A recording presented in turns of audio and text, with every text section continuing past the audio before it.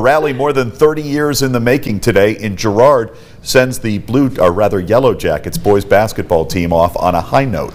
Tonight will mark the team's first appearance in the 3A boys state semifinals since 1990. Girard will take on Franklin, a rematch of the district championships back in early March.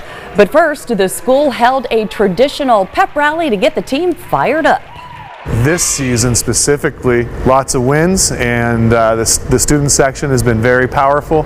We've had anywhere from 50 to 75 kids almost every game, home games uh, especially. The town has really come around. You know, we've Girard's a basketball town, we always have been, and uh, you know they've they've been waiting patiently and impatiently to to have this opportunity again. We're lucky it's not our first time, but for these boys, uh, once in a lifetime.